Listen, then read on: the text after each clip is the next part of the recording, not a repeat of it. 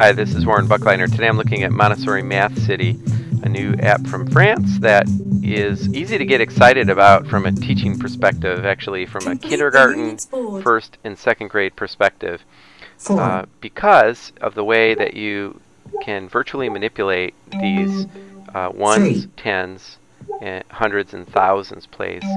This is especially good for children who've just learned to count to 10, who are have this are developing their number sense. Look at how dynamic this app is. See how the the numeral rises as 13. you move the number over.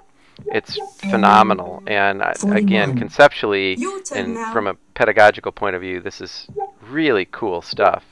Um, th there's not a whole lot of joy to doing this other than just completing 63. each section. Uh, so there's some intrinsic uh, fun here. Um, and then the, the more that you work with this, the bigger the numbers that you unlock until you have gotten all the way to a thousand, which I just did there in fast motion. And so that's pretty cool. Um, there's also a, uh, a, a thing with houses here with unit blocks. And Five. the way this works is that it's very easy to drag uh, sets and compare quantities to make the same height. And obviously this is right out of a Cuisenaire block kind of experience or a unit block kind of experience. Any early elementary teacher is going to recognize this.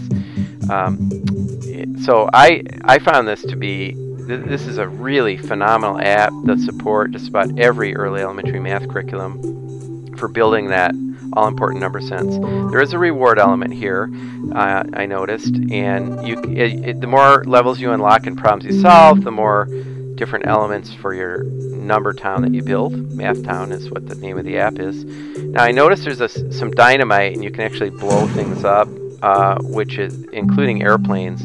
Um, pretty minor point. I wouldn't call attention to it, but teachers might want to know about that um, these days. But that's it. It's uh, Montessori no, uh, Montessori Math City a phenomenal addition to your early elementary uh, math curriculum. Uh, there are uh, also 15 languages and uh, different uh, profiles for different kids. I'm Warren Buckleitner. We'll see you next time.